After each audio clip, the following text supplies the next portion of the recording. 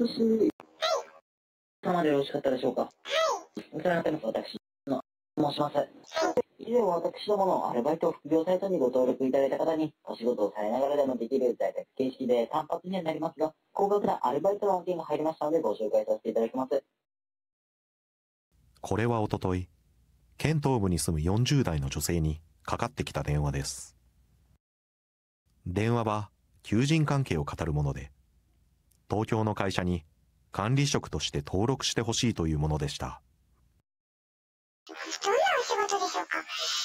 か？会社が従業員数を増やして国からの補助金を受けるために募集しております。国から管理職についた補助金として最低50万円から最大100万円近い入金がございます。ちょっと待ってください。私にですか？はい。で、入金の確認ができましたら、10万円先に保証金で下ろしていただいて、残りの入金された方をこちらの方に納めていただきます。1週間後に、の残りの給料8万円を振り込ませていただきます。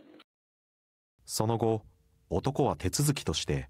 メールで送った応募フォームに個人情報を入力。確定申告のための書類をコンビニで印刷、記入したら郵送するように指示しました。女性は不審に思い、家族に相談すると言って電話を切り、警察に相談したということです。国から最大100万円という補助金は、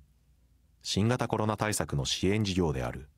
個人事業主などに対する持続化給付金の給付額と同じです。今回の電話は女性を個人事業主にすることで国からの給付金を不正受給しようとする詐欺グループによる電話とみられます。県警察本部によるともしこの誘いに乗り給付金を受け取った場合共犯になる恐れがあるとして詐欺や私文書偽造などの罪に問われる可能性があるということですこういう田舎には、まあ、関係ないっていう気持ちで他人事のように考えてたのでまさか私に名指しで来るとは思わなかったのでびっくりしましたね。